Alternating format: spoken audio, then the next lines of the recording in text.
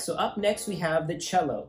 Now, this is a soft cello case. There are hard cello cases as well, uh, but I don't have any here at the school, but there are some out there. Uh, you're probably going to rent one with just a soft case.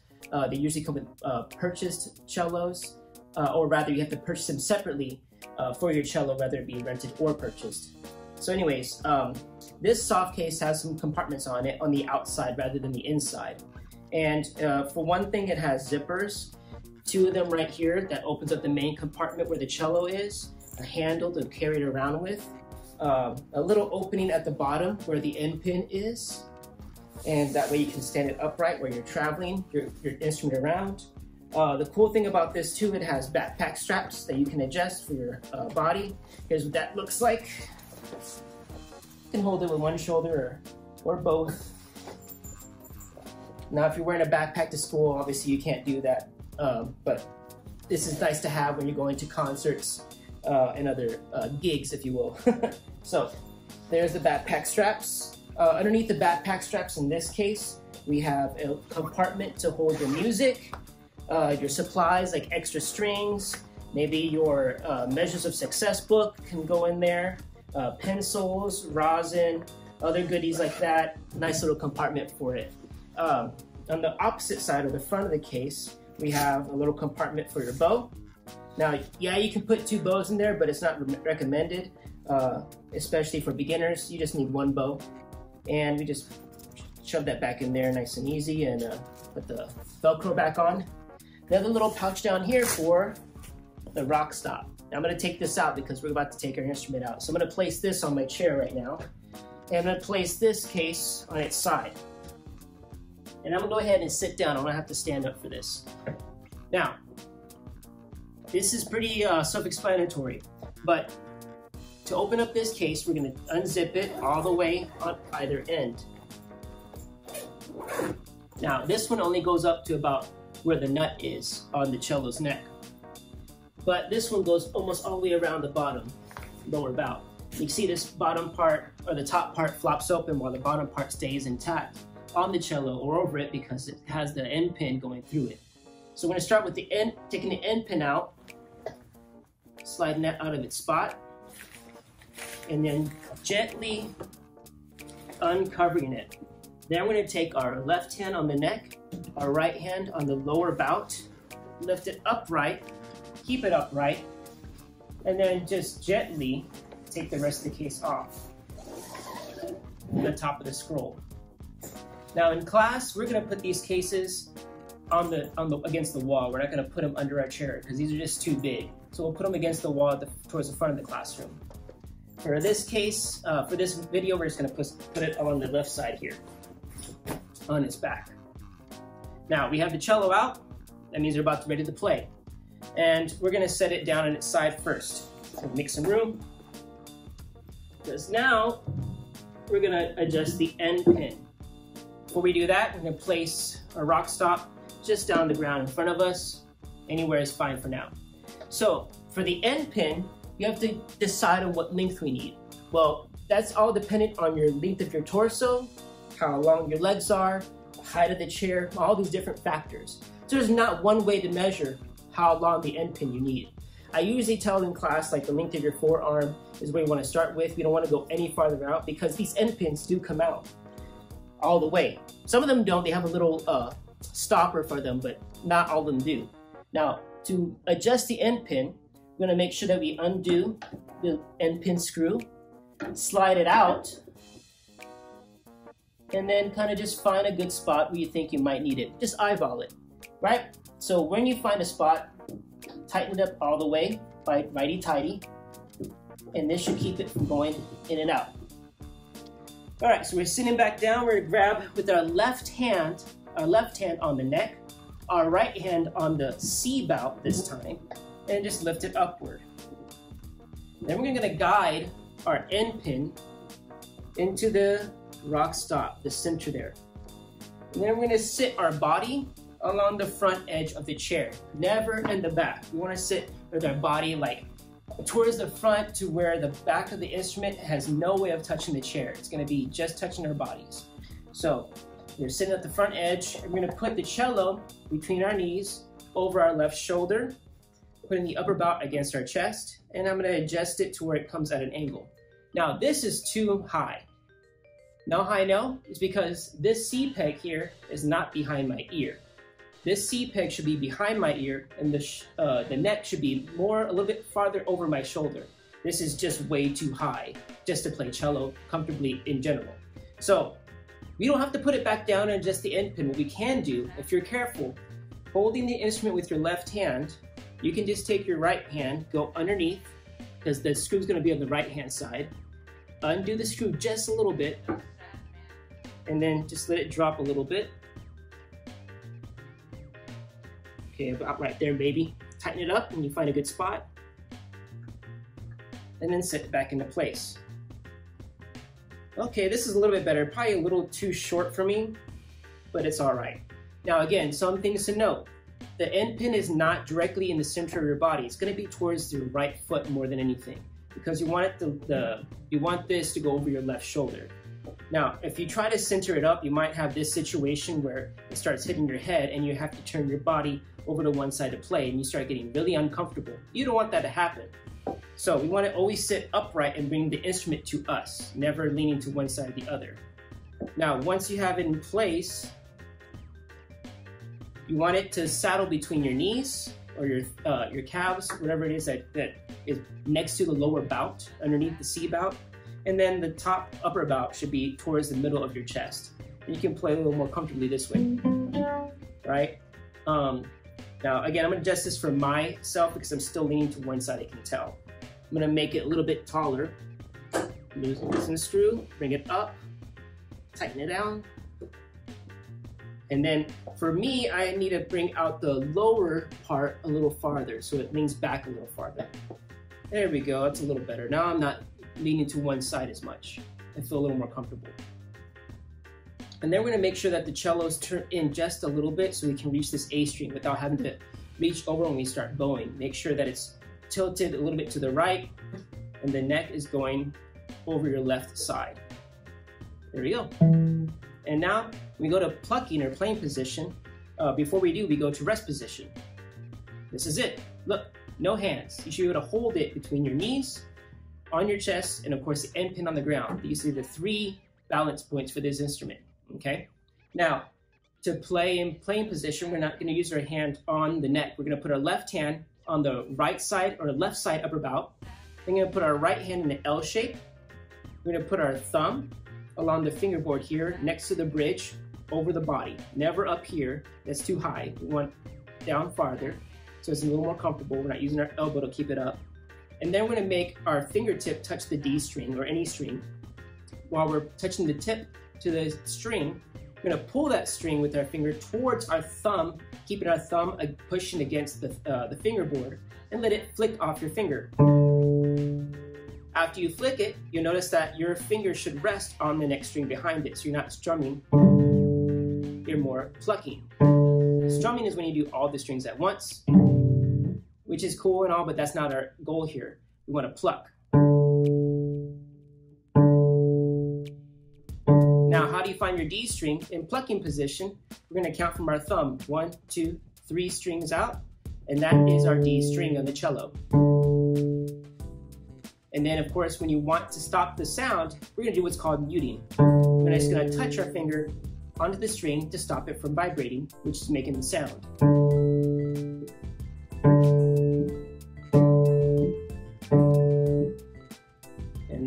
You're done playing. You can just relax. Now to put it back into the case, we're gonna do the opposite.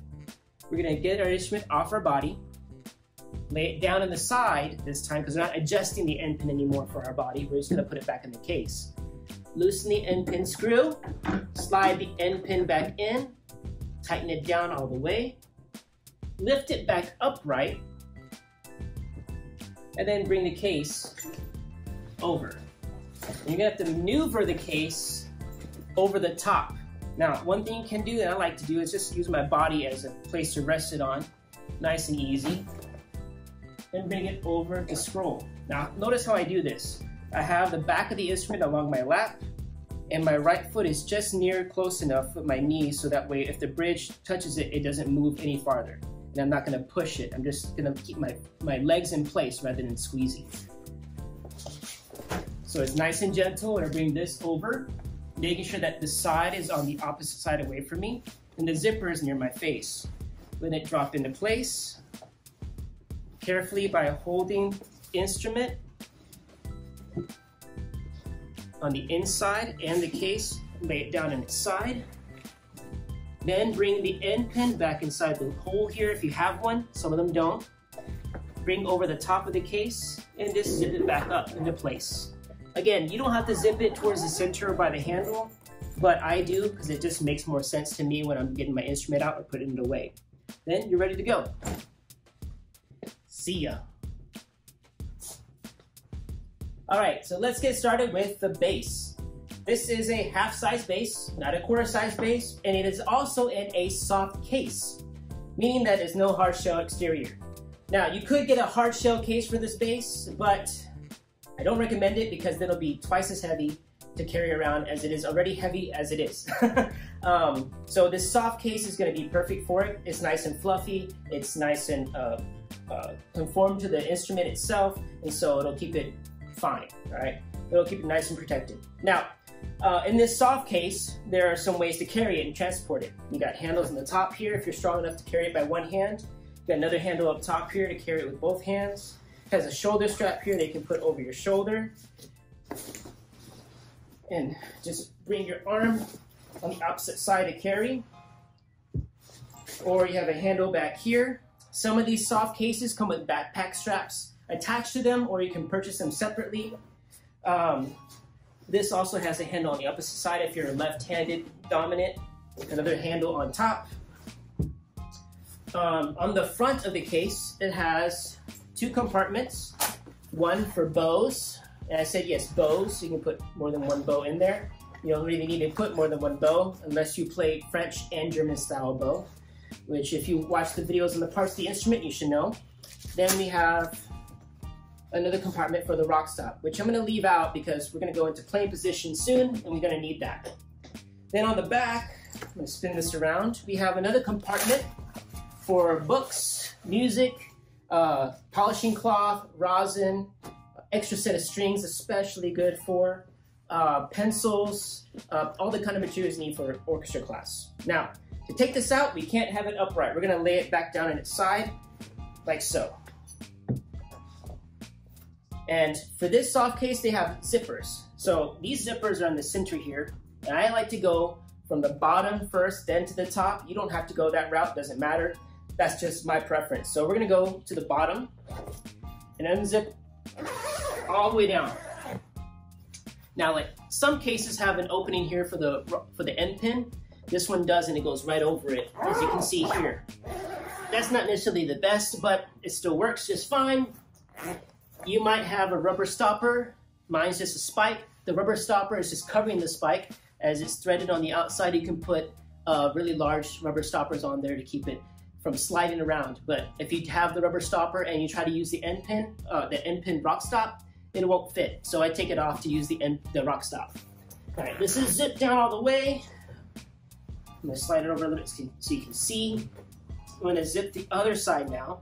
This case is gonna go all the way over towards the top and it just kind of opens up like a cocoon. Yeah, like a butterfly, if you had the view that I had. Now, what you notice is that it's on its side, it's folded outward, and now you need to take it out of the case. It's pretty easy at this point.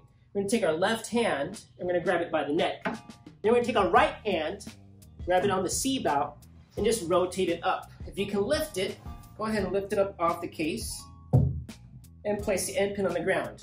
It should be able to hold itself. Now, secondly, we're gonna close the case, holding, of course, the instrument with one hand. And in class, we're gonna put these cases along the side of the wall out of the way. In this case, we're just gonna put it off to the side because uh, I can't.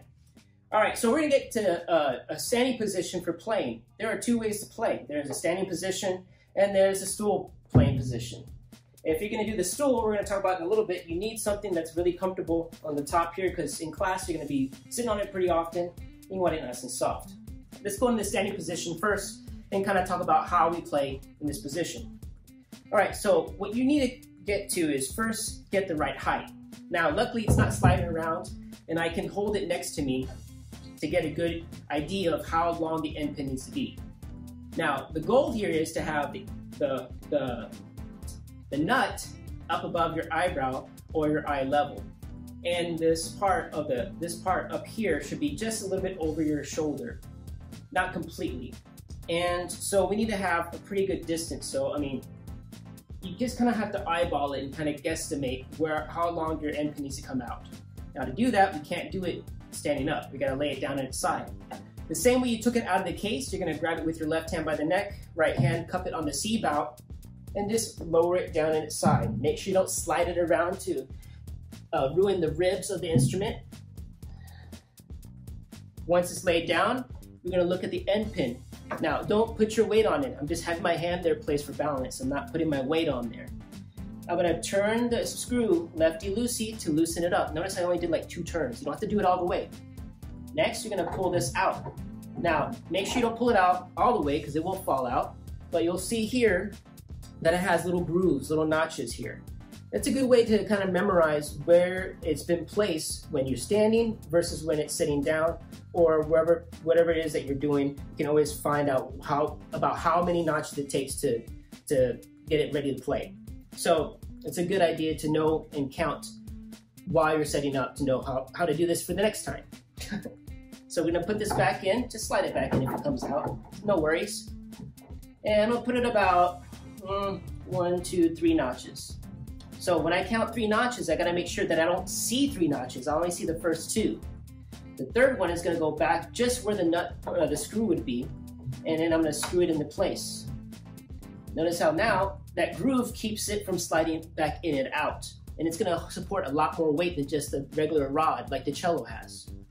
Okay, pick this back up like we did earlier. Ooh, that's a lot better, I like it.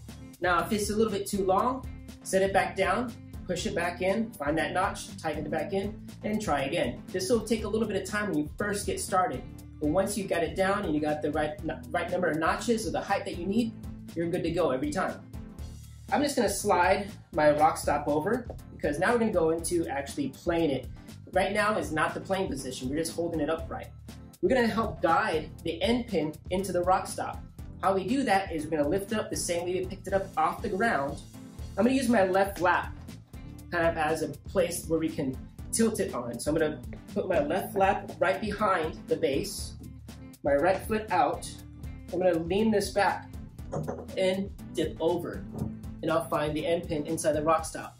Now, if you're just too uncomfortable doing that, have another student or someone at home help you do this. Or you should get a mirror, stand in front of a mirror, and make sure that's in the rock stop, or have a mirror in front of you wherever you practice. Of course, don't go to the bathroom, then try to bring it back. You know, it's impossible. So um, now you found it, the end pin in the rock stop. Make sure it doesn't move around. It should be good. It shouldn't slide anywhere. And we're gonna now place it against the center of our body, where our stomach is. This upper bout, this back rib here, not the front portion, but the back upper bout rib here is gonna go right up against where our, our uh, I guess our belt would be, yeah? And it's gonna lean up against us. It's not gonna be completely straight up, it's gonna come back down towards us, yeah? And we're gonna have to hold it up with our thumb here behind the neck. Now that's normally how we play in first position when we start playing uh, with our fingering tapes, but for the purposes of our first exercise, learning how to play the open strings first, we're just gonna practice by keeping our left hand on the upper bout on the left side. Now, you saw me plucking. We're gonna do pizzicato. Um, make sure, by the way, that your feet are shoulder width apart behind the bass, not to one side or the other. This is gonna, again, be mostly against your body at an angle, using the back rib against the belt area, leaning towards you. Now, you're gonna take your right hand, make a backwards L shape, put your thumb against the fingerboard. Now there's a big solid uh, flat space here on the fingerboard. Place it along the bottom here, along the side, not behind it, along the side. Then you're gonna take your index finger and you're gonna take your fingertip to one of the strings. In this case, we're gonna count three strings from our thumb. One, two, three, and that's our D string on the bass.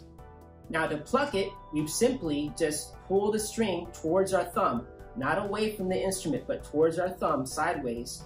And then when we flick it off our fingertip, we're gonna rest our finger on the string behind it, like so.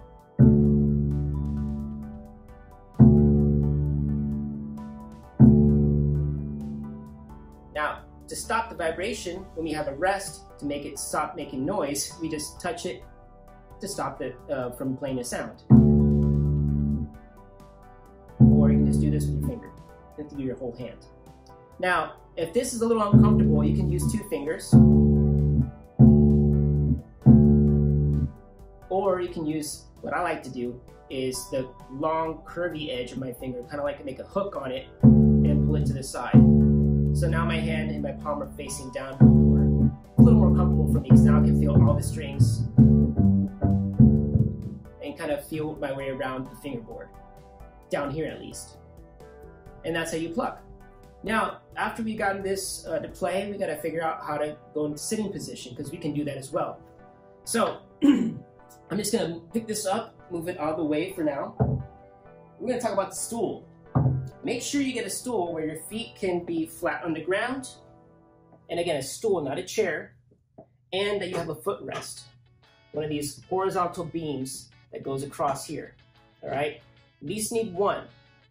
Now, when you're sitting down on the stool, the first thing you're gonna do is make sure that your rock stop is close enough. That's way too far. So I'm just gonna slide it over. Maybe a little bit closer. We'll, we'll adjust as it goes. Then we're gonna sit along the front edge of our stool, like so. Notice that my left hand has been always on this bass, never letting go. Now, I'm gonna turn my body, grab it again, C-bout to the neck here and left hand. Using my left lap as a anchor to tilt this back and forth, I'm gonna guide that end pin into the rock stop. Now I haven't changed the end pin length, so I might have to because now I'm a lot shorter than I was standing up. And I can just lift it up carefully and slide the rock stop around rather than pushing it down. All right, so first thing to do is know that this foot does not stay on the ground. The left foot actually goes on the footrest there, and you can turn it a little bit so that it's a little more comfortable. That way it's not straight ahead. The back of the body of the bass is actually gonna lean up against here, while the upper bout leans up against, again, your belt area. And then your right lap doesn't really do anything. It doesn't touch the bass at all. It really shouldn't be near the bass because you need some space when you play the E string of the bow that it doesn't strike your leg. So you might need to have your leg out a little bit. Actually, this is quite good. This is comfortable for me. I can play in this position comfortably. You don't have to adjust the end pin. Now, what you can do is uh, you can make it shorter, obviously, to make it fit.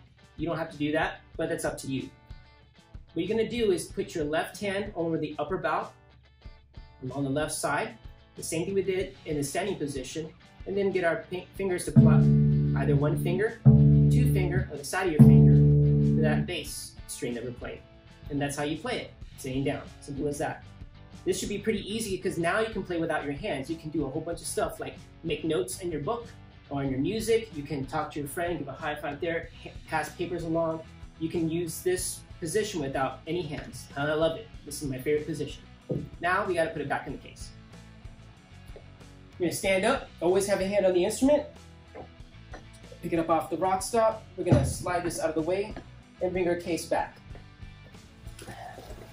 Make sure our case is wide open, all the way open. And we can then lay it back on its side, finding the longest part, the wide part, where the side of this instrument goes in. Now, the top of the case is on the uh, far side away from me. The back of the case is towards me. You gotta know which one's which uh, you can tell because you did it early and hopefully you paid attention which one was which. Now, the top of the case probably has a little padded area kind of curves outward and that's where this bridge and the string's gonna go through. The back of the case is pretty much just flat.